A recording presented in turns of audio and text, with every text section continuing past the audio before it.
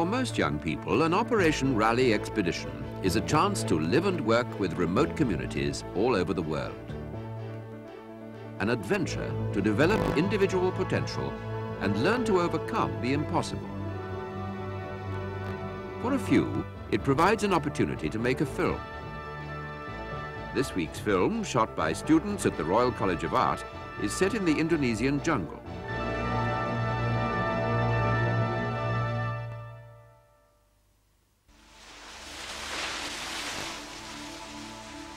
The Java Sea, a thousand miles east of Borneo. These young men and women have survived a grueling selection process to become venturers on one of Operation Raleigh's most challenging expeditions. It's an important part of a worldwide scientific study of tropical rainforests. Their destination, the Indonesian island of Seram. Even for Raleigh, this is a very ambitious operation. 200 people will live and work for three months on this remote and largely unexplored island.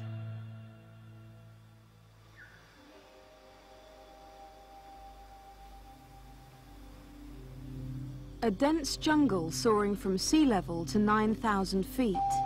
A unique region known as Wallacea, where the flora and fauna of Asia and Australasia meet. The reason why scientists and venturers have come here.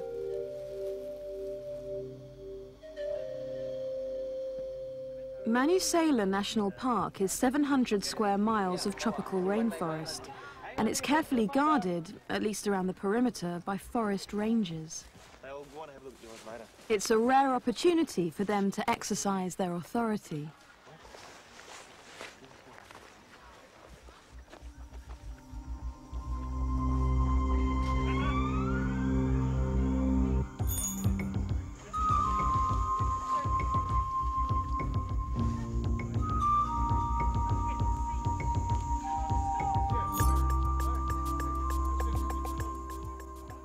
An easy walk to base camp is the venturers' first taste of jungle conditions, and some of them are finding it tough. They're carrying too much. The scientists are old hands. They set their own pace and travel light. Pity, pity bird? Supplies for three months have to be shifted, and for £2.50 a day, local farmers are willing to do it. The going is just as tough for them. On this march, one of them suffered a fatal heart attack. In a blistering 90 degrees and saturation humidity, 10 miles has taken four hours. It's been a rough and sobering introduction for the venturers. Soon they'll look back on it as a gentle country stroll.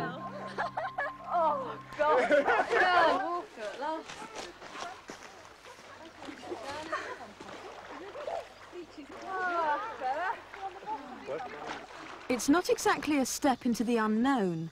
An advance party of venturers and army-trained staff has been here for six weeks, building three base camps and cutting the trails that link them. Has everybody had something to eat? Come for seconds. Major Wandy Swales is in charge of the expedition. He's just arrived, like everyone else, the hard way. I was very stupid. I wore just very thin nylon socks and didn't appreciate and totally forgot the problems of sweating a lot and having your feet wet all the time. After all you told adventures. After all I told adventurers. It's stupid. Um, we knew that the distances were tremendous, and but people on recce's tend to be some of the fitter people and laugh off the distance and the timing. But for Mr. or Miss Average, this is quite a quite a place to get to, and I don't think it should be undertaken lightly. And it's a lesson to us on phase two of the expedition, or all the next phases and the next expedition indeed, um, to calculate much more sensibly on movement, and particularly because we're now having to carry extra weights, extra food and weights into the other expedition areas. we had to carry the poor old porter who died. And he wasn't a large man, and I, I found it, and so did Mick Day, very heavy going when we did our spells on the stretcher. Four of us, one on each corner. You can imagine a small group of four people with an injured person, trying to carry them out, and injured and alive and being hurt when they're being joggled. It's a very tough, very tough problem. And the other, as with all jungle terrain, is the problem of getting the message out. We just haven't enough radios. But what we've got are sensibly deployed. We record in a book each day where people are going, as with normal patrols, say in the army. You do know where they're going, you know the route, you know what they're going to do, and you know how they're coming back. So if you lose them, we can maybe get a party out to help. We have to watch that one very carefully. We couldn't cover a place as big as this safely. The expedition will work all over Seram, but in fact you don't have to go far to find its rich wildlife. Near the Camp Latrines, the reptile group has already discovered the island's most dangerous inhabitant, the death adder.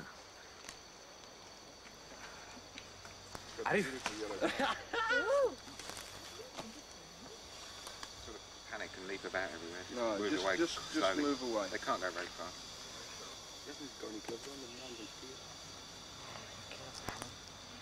One bite can kill in less than four hours, and there's no serum here. It's still in a fridge back in London. He's holding death in his hands there. Particularly in the camera.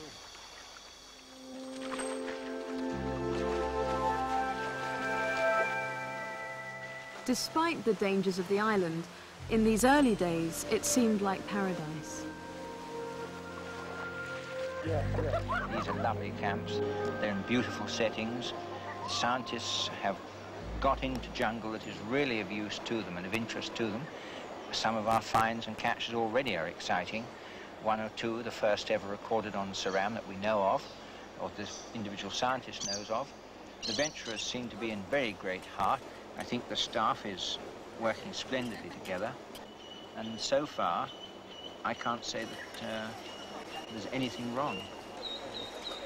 No, I think uh, overall I'm very pleased.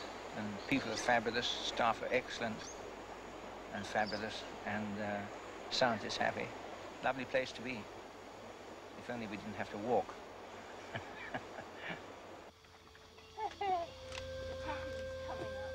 On any day, there are groups coming and going between the base camps.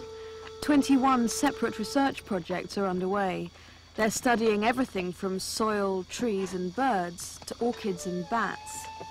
Eventually, it will add up to a detailed scientific profile of Seram's rainforest.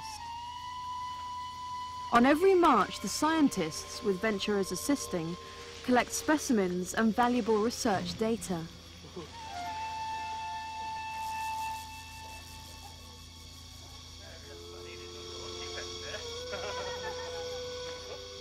Bob Payton is leading a group of geologists and botanists. Their foraging trips have been very successful, but success means more to carry. If you add a roll of orchids to a bag of wet soil samples loaded on top of necessary supplies, it could be the straw that breaks the camel's back.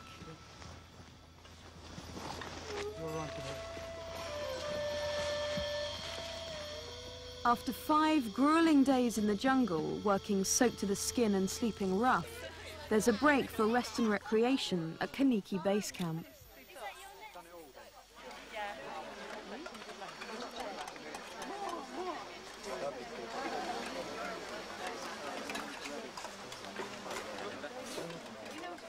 The scientists freely admit that their achievements depend entirely on the enthusiasm and energy of the venturers, but there's a limit to the stamina of youth.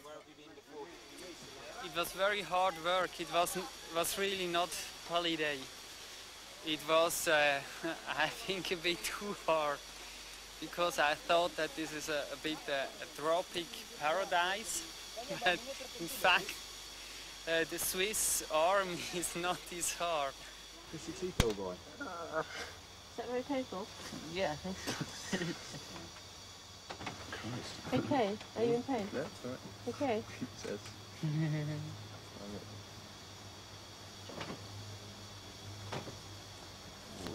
Lie down on this one. Okay. Stephen Hill, one of the two doctors with the expedition, thinks that Ian has trodden on a scorpion. Oh. Only on his return to England will Ian learn that in fact a hookworm has burrowed into his foot and laid its eggs. Can you put up with that?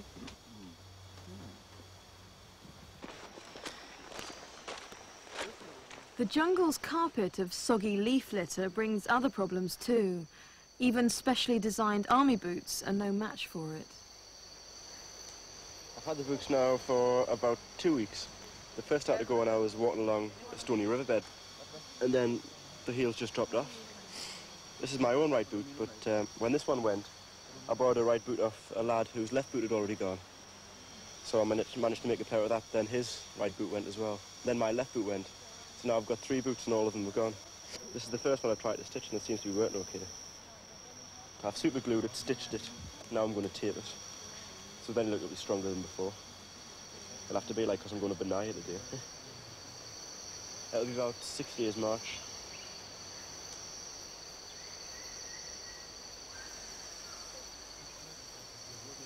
It's very wrinkled, isn't it?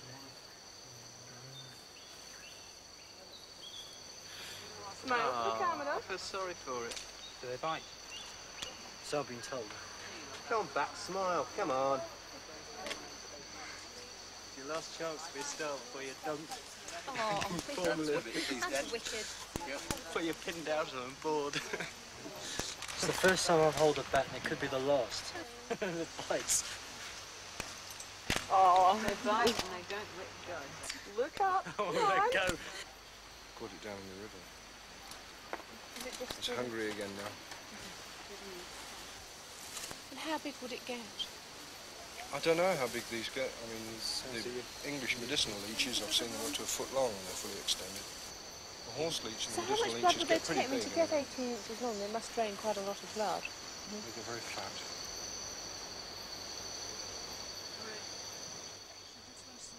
It's often impossible to make accurate scientific classifications in the field. Inevitably, some specimens will have to be taken back to Britain. The expedition has got permission from the government in Jakarta to do this, but no one has told the Manusela Park Rangers.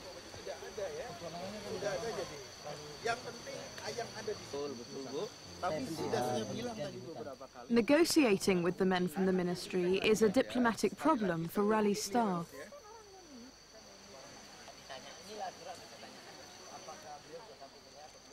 For the scientists, the work in hand always comes first, and they have enough to cope with as it is. The logistics were pretty hairy to get stuff here, but also I think that we pushed it rather too hard to get over Kobipoto. We made it, and people were nearly at the end of their tether, but um, I think we were within safety margins when we did it. But it was a very hard march. The conditions were very difficult, very steep slopes, getting quite cold at night at the top, very wet, people with wet boots, starting to get fungal troubles with their feet, and a lack of water on the uh, on the north side of Kobe Proto when we were coming up. That was the main problem. So we didn't have enough porters. This meant that we didn't have food to last us the time, and we had to work on half rations. I have not been on an expedition where the porters have quite been treated in the way they have here. They've been treated very separately, and I feel to some extent perhaps not provided for uh, as well as they could have been. And that may be part of the trouble, but also you've got to remember on Seram, uh, people don't like portering. Here, the loads they will take are very light, 15 kilos is about the limit. Um, now we're carrying packs sometimes 20, 25 kilos ourselves. So they've also got to carry their own food, which often amounts to a porter carrying the porter's food. And we've now got problems going up at Gunung Binaiya.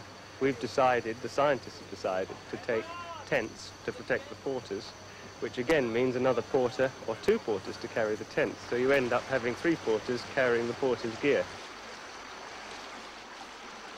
Some of the venturers have reservations of their own. Ashley Hyett. Um, I don't know, we're continually told that it's a logistical uh, problem of moving things around and getting uh, supplies to be where they want people to be.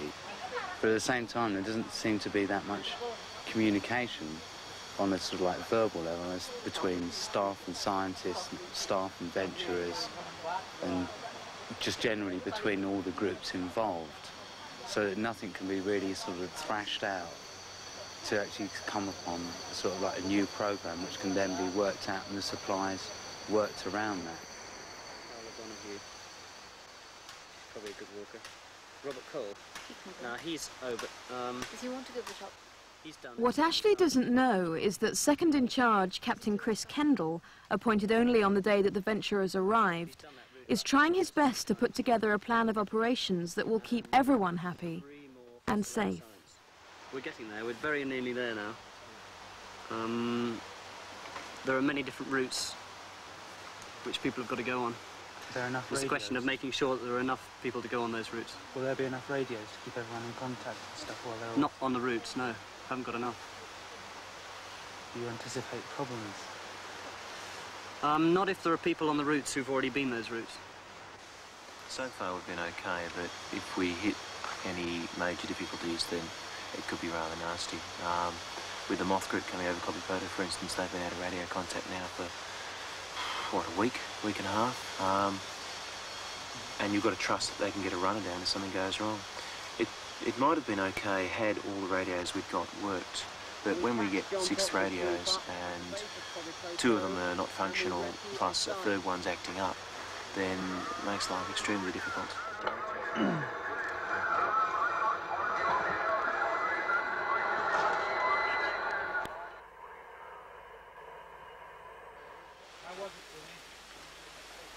Great. Hi, Jen, how are you doing? In spite of the difficulties of communications, work goes on. There are now groups travelling on routes all over the island, most without radio contact. Oh, and you can see Kanikeh village, from up there. Like a tiny little speck. It was great. Yeah. There are still some people up there working on the plots. here. Um, but we got most of them done, which is really good. Uh, it looks like an advert for Elastoplast. Fell apart. But he's still up there. Yeah, Gene and Ian. Every expedition depends on mental discipline, physical effort, and a degree of luck. Despite early problems, after four weeks, Operation Raleigh Indonesia is in good shape and in good heart. But luck is about to run out on them.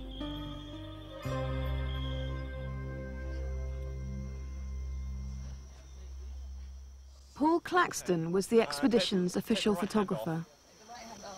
You want to put it on your rucksack strap like this. Because when you hike, you tend to walk along like that. Okay, this is good. Can you look at me? I want to see the logo. Publicity pictures are important when an organisation relies on sponsorship. Okay. Paul's portfolio of photographs of Seram would be complete with shots from 9,000 feet up at the top of Mount Binaiya, the island's highest peak. He travelled halfway up Binaiya with a party on a routine climb, then left them and continued to the summit. As a food supply would be needed there later, Ashley Hyett volunteered to accompany Paul and take rations up at the same time. The following day, Paul and Ashley were reported missing.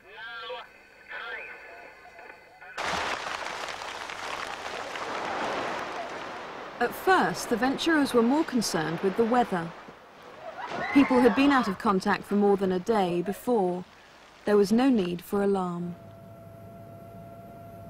After 48 hours, however, a full search began. A helicopter lent by the Indonesian army joined in, but without instruments it couldn't penetrate the dense cloud that now shrouded the island. They tried every day, and every day they were forced to return to base. It's been five days now since uh, Paul and Ashley have been missing. The search in the field still continues. Um, a bit of news that came through last night. At 8 o'clock, um, torchlights were seen uh, further down the mountain. Um, we're not too sure whether this is Paul and Ashley or whether or not it's uh, a scientific project group working on one of their projects uh, in the night. Um, at the minute, we're just waiting to hear more news about that. Um, we've sent somebody down the mountain to try and find out some more information. Um, we were hoping to get a helicopter to try again to come to the island to Binaiya this afternoon, um, but unfortunately that one's just been cancelled too due to the bad weather.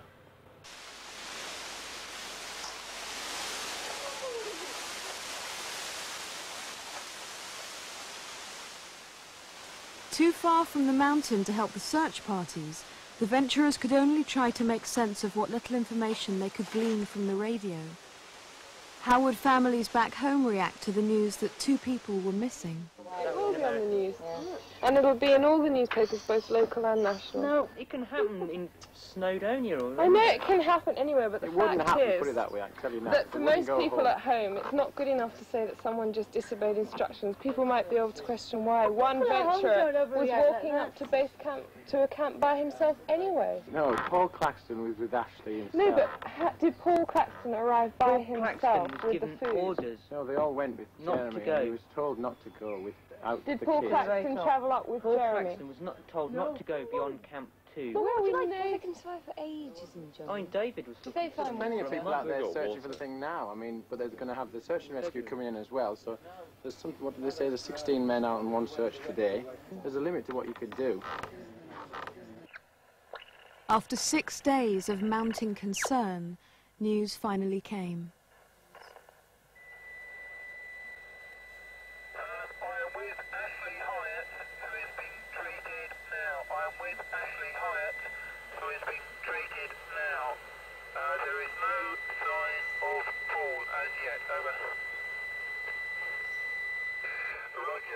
Uh, you say that Ashley is conscious. Um, is he able to speak and give you any information or Over.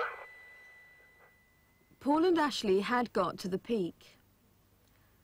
Paul had taken his photographs and Ashley had set up the food dump. After a night's sleep, they made their way back down, but soon lost the path. On an exceptionally treacherous mountainside, Paul slipped and fell 200 feet. Ashley called out to him, but there was no reply. Since he couldn't climb down to Paul, Ashley tried to retrace his steps back up the mountain to get help, but then he also fell. I fell to a point where I was below Paul, and he was inaccessible to me. I, I knew I'd injured myself. I sort of like came round after having been unconscious for a while, and I was just wet with both rain and blood. And uh, there was no way I could could get up to assess Paul's situation. So I decided after a night's sleep to try and gain some height. Took me about two days to climb 500 meters because all the time I knew my ankles were very badly sort of bruised. I did, wasn't sure if they were broken, but every sort of like 10 or 15 steps they would just fold over under me and I'd fall over. In fact, Ashley made that climb with both ankles broken, several smashed ribs, and a collapsed lung. But as soon as I got up a bit higher, although I'd set up a rain trap and sort of made myself some sort of comfortable bed, there was just no rain for the next four days. The only, the only water I was able to get was where the cloud had sort of condensed on the bivy bag, which I lit daily. And that was, that was the only sort of like sustenance that I had. And then I just, I just sort of kind of sat it out there for a while. It was, being sat up there was quite unusual because it didn't feel like I was alone. It seemed like there was about other, another five people there who were these sort of like amalgamated personalities, all of whom had sort of characteristic traits of individuals. It was al almost like myself, I wasn't injured or anything like that, each one of them seemed to have one of my injuries. And I was sort of like in charge of the situation and actually well myself. But it, it's sort of like in my head they kept sort of like moaning to me about either sort of like their feet hurt or their ribs hurt or the bed that I'd made wasn't very comfortable. And that seemed to, that seemed to help sort of like me get through in a calm kind of way. And one of them kept suggesting that a helicopter was going to arrive the next day. Although I knew that the possibility of a helicopter wasn't that likely because there'd always been a helicopter problem before. And then on about, I think it was the fifth day, when I woke up, there was, well, the night before, there had been the most amazing sunset. And the next morning when I woke up, there was an incredible sunrise. And I seemed quite content then. It seemed like all the, all the sort of like worry and everything else of like the possibility of not being saved or being saved completely gone. And this, I, I felt sort of a feeling of calmness and contentment, almost as if it didn't matter anymore, that I, I wasn't going to be found. And that, that at least here was better than, say, being um, knocked over by a London bus, where, you know, you didn't really know anything about it. It's almost like I'd accepted the fact that I might not be found.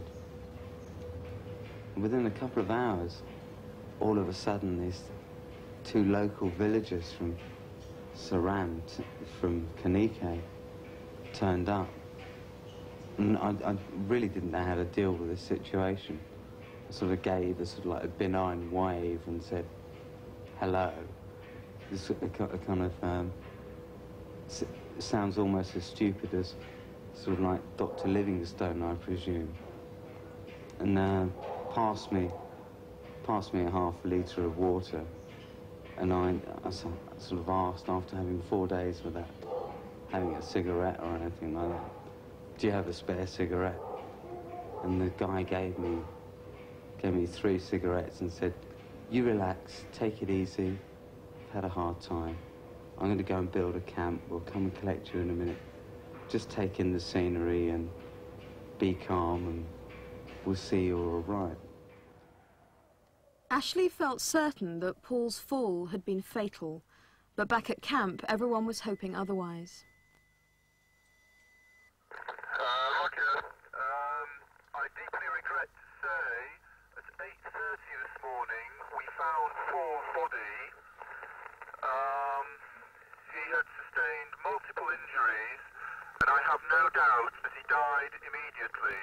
Over.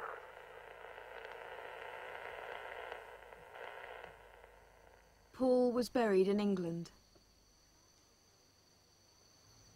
The staff of Operation Raleigh, the scientists and the venturers all decided that the expedition should go on. Research continued successfully for another six weeks. New venturers arrived for the second phase and new projects were started. When Ashley Hyett recovered, he volunteered to go back to the jungle, this time to Cameroon in West Africa, on another Operation Raleigh expedition.